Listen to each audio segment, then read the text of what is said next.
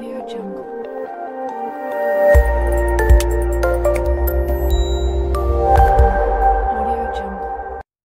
बात करते हैं रतुड़ेरों से, जहाँ रतुड़ेरों में सियाकारी का इल्ज़ाम लगाकर शोहर ने अपनी बीवी को कत्ल कर दिया पुलिस ने लाश अपनी तहवील में लेकर पोस्टमार्टम के लिए हॉस्पिटल मुंतकिल कर दी, जबकि मुलजिम फरार मीर जखरल मोहल्ले में मुलजिम अली नवाज़ जलवानी ने दो माह कबल शादी करने वाली अपनी नवी नवेली दुल्हन अकीदा खातून को सियाकारी के इल्ज़ाम में गोलियाँ मारकर कत्ल कर दिया।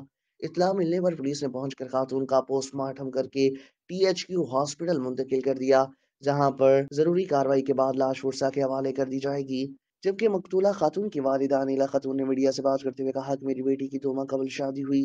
बेटी हमारे घर पर थी, इसका शोहर अली नवाज़ लेने आया और कहा कि, जल्दी घर चलो, मैं कार लेकर आया हूँ और अपने भाई इरफान के हमरा एक खाली मकान में बेगुनाह मेरी बेटी पर सियाकारी का इल्ज़ाम लगाकर इसे कत्ल कर दिया। हमें फिलफोर, जल्द अज जल्द इंसाफ चाहिए।